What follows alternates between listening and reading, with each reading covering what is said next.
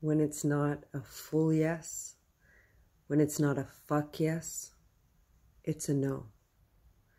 And that doesn't mean that it's a hard no, but on the scale of hell yeah, yes, with every single cell in your body,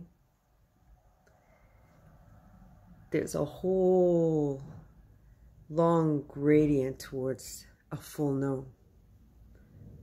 And if there's any doubt, if there's any anything holding you back from that full yes,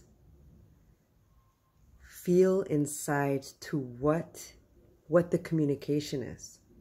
What safety do you need? What is there to, to listen to or to provide to yourself or to slow down to or to decide or to speak your no to? What is there to be explored to make it a yes or to fully stand in your no? To fully stand and be able to express that no. So when it's not a full yes, it's a no.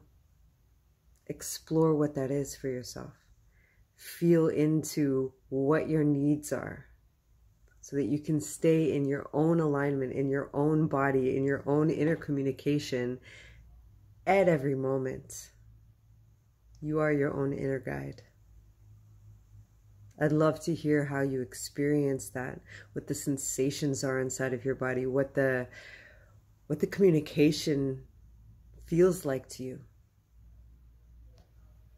Thank you.